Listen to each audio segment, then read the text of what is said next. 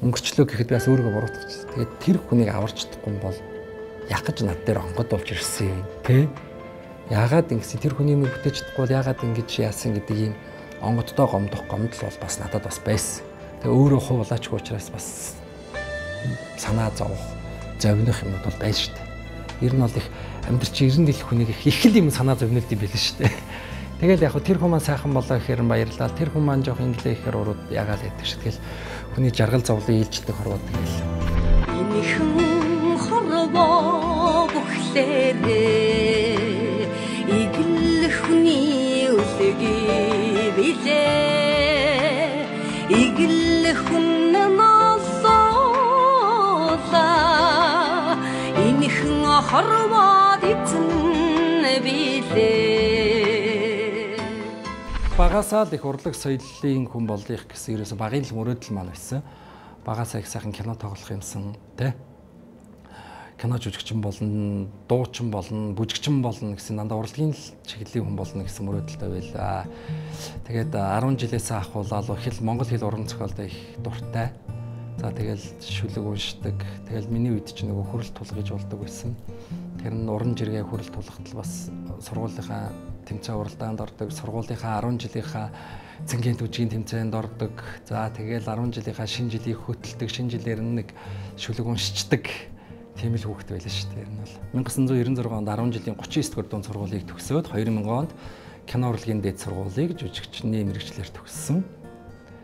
Аа төгснөөсөө хойш орчлон фильм кино студид жүжигчнэр. За тэгээд шинэ продакшнд хамгийн анх хошуу урлагийн тайзны а уран бүтээлд орж эхэлсэн.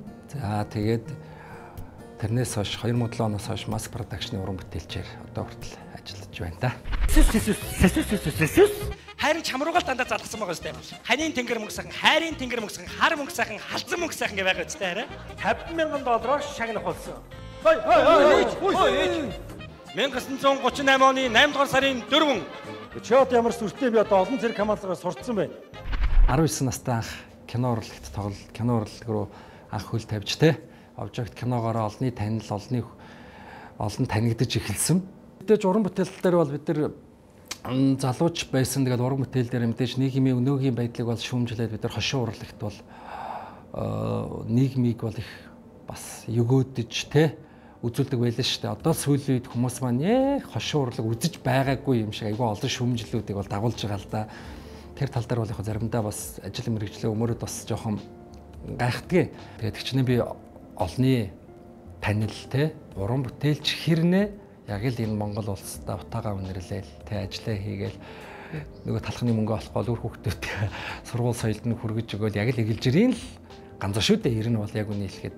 Аа миний хувьд юм бол бас би бас өөрөө бүү гэдэг зүйлд бас их ойлгодгоо бас дуртай байгаагүй. Тэгээ яалчгүй авах хэвээр тэнгэрийн тамхтай улаач учраас тэрийгэ хүлээж авсан. Тэрийгэ хүлээж аваад жилийн хугацаанд 2 жилийн хугацаанд 3 жилийн хугацаанд би бас бөөгөө ойлгохгүй те том бөө болчлоо өөрөө шидтэн болчлоо гэдэг ч юм уу те тэр зангаргаараа тэр юугаараа их бас өнгөрч одорч явсан үе бас байсан.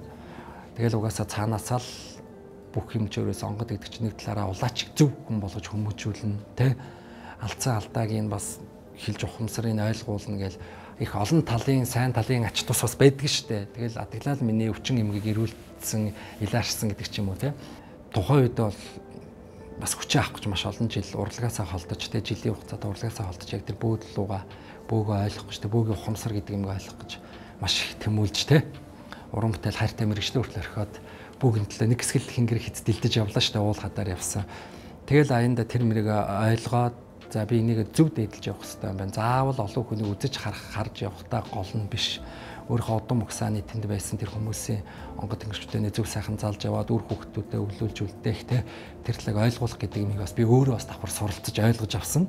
Аа тэгээд яг хуу бөөхөн гэхээр бүгдийг чадах албагүй онгод тэнгэрүүдийн өөр өөрсдийн хүч чадал ондоо байдаг те янз янз байдаг. Тэр утгаараа манай онгод бол яг минь их баярламаар юм манай онгод нялхсыг аягүй идгээд нялхсыг одоо үр хөвгтгөө айл үр хөвгтийн заяа дууддаг тий хань ижлэг өрсөд хүмүүсийн хань ижлийг татдаг тэр чанар нь илүү давуу талтай манай онгодод байд юм байлээ. Анх ууланд онгод авах өдрөө одоо бууж ирсэн онгод маань тэр өдөр л нэг үр хүүхдгүй айл үр хүүхдүүдаа л тэр анх дүнгэж бууж ирж байгаа онгод шүү дээ. Тэгэл яасан төд удалгүй 3 сарын дараа нөгөө айл нь би толгор болцсон онгодтой дахиж ирж уулзаад одоо гэтэл би ч одоо 10 хэдэн жил болцсон гэж одоо тэр хүүхд маань бас 10 хэдтэй л хүүхд байгаа маш олон айлыг хань жилдтэй болгож үр хүүхдтэй болгосон тийм сайхан том буян дууд тийм сайхан онгод гэртэй.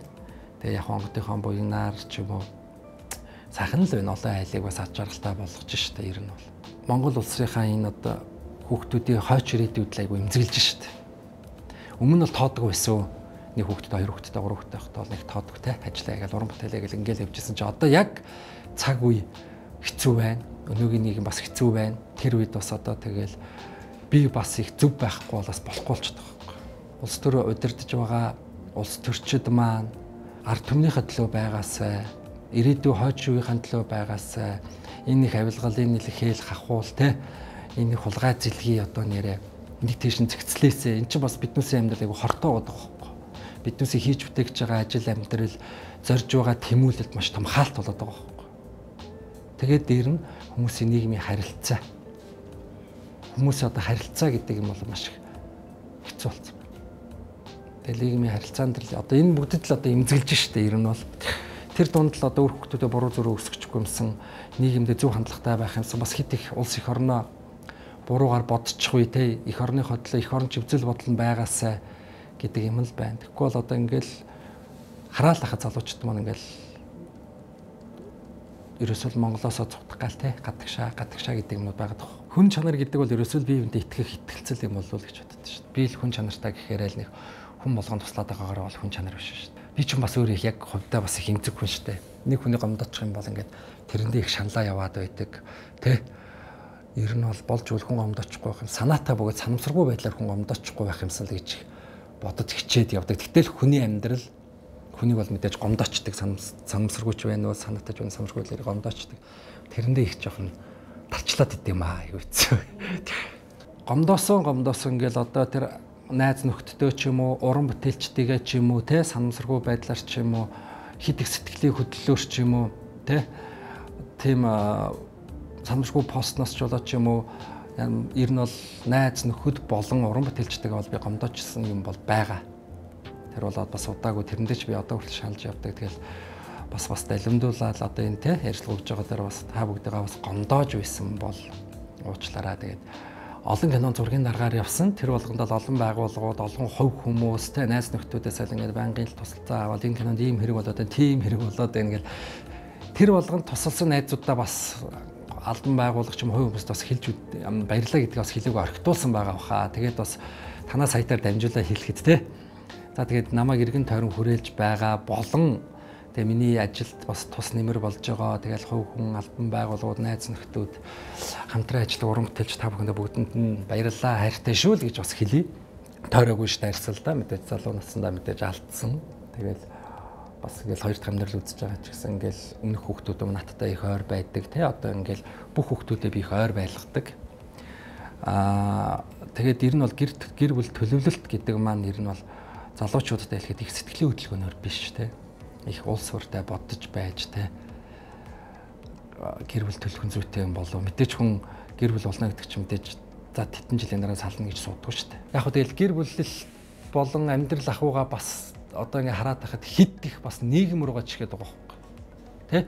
Мэдээж нийгэм хэцүү байгаа. Гэхдээ тэр нийгэмд бид нэр хамтын амьдралаа холбож тэр хамтын амьдралаараа бид нар жаргал зовлонгоо хамтдаа хуваалцж тэ зөв сайхан байж л энэ нийгмийн муу бүгдээс гэр бүл гэдэг юм чи үн цэнтэй үлдэх хэрэгтэй байна. Одоо ийм цагт бол гэр бүлийн андаа харилцаа маш чухал. Миний хувьд гэх юм бол одоо сайхан байна уу тэгэл хүүхдүүд маань нэрвүүлэх өсөж байгаа хүүхдүүд маань сайхан томорж гин тэ тэгээд дээр нь энэ хүүхдүүдтэй байгаа үедээ л ажил бич урлагийн чи ер нь бол яг үн хэлэхэд хүүхдүүдэд анхаарал хандуулахад бас хэцүү шүү дээ. Яг ардаа сайн хантай байгаа тулдаа хүүхдүүд маань сайхан өсөж торнод байгаа байхгүй. Нэг мэтгэд бид нар чи тоглолтоо байхад бэлтгэл ажиллагаал сар гарan өглөө гараад орой ирэн те. Тэгэл нэг нэг мэтгэд л хүүхд маань төрсөн байдаг гэдэг шиг те. Нэг мэтгэд маань хүүхд маань хилд орж идэг, нэг мэтгэд хөдөө оромтгоор тоглоод ирээд хөлд орж идэг гэдэг шиг. А сүүлийн хэдэн жил бол би яг ковидоос хойш бол яг гэр бүлтэйгээ ингээ байж үтсэн. Ирэх хүн бол заавал байх хэрэгтэй юм байл. Эрэгтэй хүн бол гэр бүлдээ цаг зав зарцуулах хэрэгтэй юм байлээ. Тэг ямар сайн дээр ковид үед гэртээ удаан байгаад ирсэн чинь манай ямар санд нэг хүү тэгж ёо яастаа нэр ажилдаа л явсан дээр юм гэртээ бахар ямар өглөө юм бэ те гэж хэлсэн шүү дээ. Тэгэхээр нөгөө нэг бас тэр үчи нөгөө нэг том айхтар нөгөө вирус байсан. Тэгэл айл болгонд гэртээ байсан шүү дээ те. Тэгэхэд нөгөө би ч нөгөө гэрийн бараа харддаг учраас гэртээ байгаа тэрхээр өглөө шүү дээ. Хөөе энийг янз тэрийг янз бүрийн өгдөх ажил нэгссэн чинь хүүхдүүдэд жоох аа яах маягтай авста муухай аштай хүн биш үү те гэдэг шиг тийм л юм болсон да. Яг хаа уран бүтээлч хүмүүс ч ер нь бол нөгөө өөрийнхөө мэрэгчлэр хүмүүс нэг хүүхдүүдэд явуулах дургу шүү дээ те. Яг одоо тэгэл жүжигчний мэрэгжил хатуу хитүүд ялан дандаа октод нь л жүжигчин болчих гол байна. Тэгээ манай хоёр том бол бүр шийдсэн байгаа жүжигчний жүжигчин болно гээд манай том охин маань одоо солонгосын солонгост одоо Конгогийн сургуульд жүжигчний ангиараа суралцж байгаа. За дараагийнхан охин маань одоо наран гарав гэдээ бас жүжигчин болно гээд эхэндээ ч дургуутчихсан. Одоо тэгэл би ч бас өөрөө жүжигчин болно гэж явж исэн. Одоо хүсэл мөрөөдлийн дагуу 20 тавха билсэн. Тэг ямар ч хэлсэн сая нэг чөнгөний олон ангит киноны гол дүр тоглоод боловсролын багасаа л ирнэ охтууд маань нэг тай зойрхон байсан болохоор тэднэрт их сонирхолтой байсан болохоор хоёр охин маань ямар ч хэлсэн чиглэлийн дагуу жүжигчний урам чадвараар суралцсан гэдээ бүр шийдсэн байгаа. За яг хөө тэгээд би хэлдэж шүү дээ хамгийн гол нэг жүжигчний мэрэгжил жүжигчин бол нэгт чинь 99% хөдөлмөр гэдэг шүү дээ. Хамгийн гол өөртөө л маш сайн хичээх хэрэгтэй.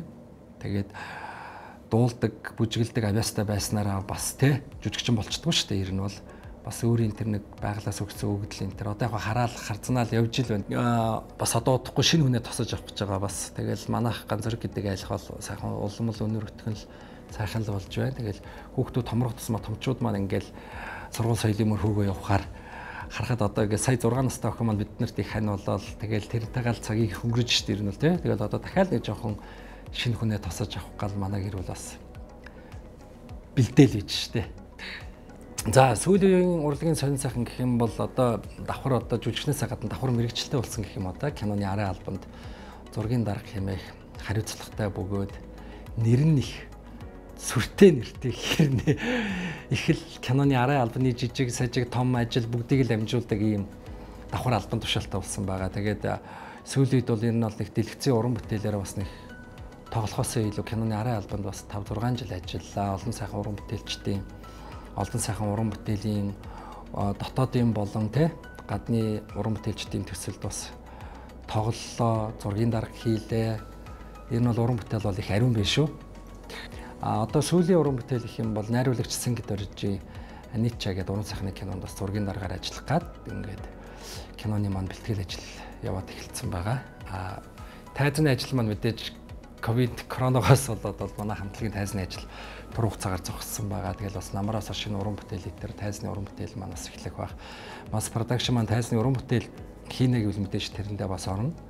Одоогийн байдлаар тэгэл киноны арын албанд л зүтгэж байна да. Тэгээд бас цалгун гээд бас нэг продакшныг үүсгэн байгуулад дэлгэцийн хоёр уран бүтээл хийсэн байгаа. Тэр уран бүтээл маань бас хараахан гарч амжаагүй. Монтажны ажилд явж байгаа. Тэгээд нэг 4 сард нэг 4 5 сард дараалсан хоёр киноны нээлт үзэгч түмэндээ барих гад л уран бүтээл бол их сайхан ариун сайхан байгаа шүү.